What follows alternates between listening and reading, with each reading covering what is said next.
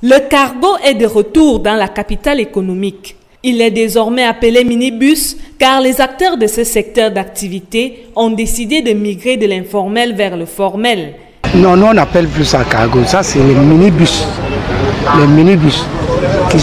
On a les minibus entre 14 et 18 places. On organise selon à chaque arrivée, on prend le numéro sur le tableau comme vous voyez là-bas.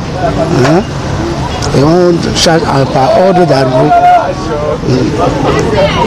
Même les chauffeurs, nous on contrôle le permis de conduire, la carte d'entrée des, chauffeurs et tout.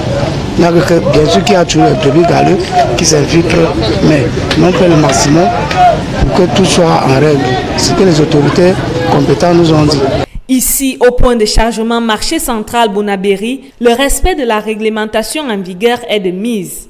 Tout véhicule, d'avoir ce comme pièce personnel, est rempli, permis de conduire, vous voyez, l'assurance et tout, et tout, et tout, et tout. Visite technique, c'est comme ça là carte de tout et tout, c'est comme ça que ça se passe ici. Nous-mêmes, nous faisons le travail. Quand ton véhicule, ça ne va pas, on te demande d'aller au garage. Oui. Tu n'as pas de visite technique, tu ne fonctionnes pas avec nous. Cette nouvelle organisation de ce mode de transport est naturellement à l'avantage des usagers, même si les tarifs de transport tardent à être homologués. C'est organisé tout à fait, euh, il y a quand même un ordre, parce qu'on vient de suspendre d'un de leurs qui n'a pas voulu respecter l'ordre. Ils n'ont pas encore euh, un prix homologué. Chacun fixe son prix selon son humeur.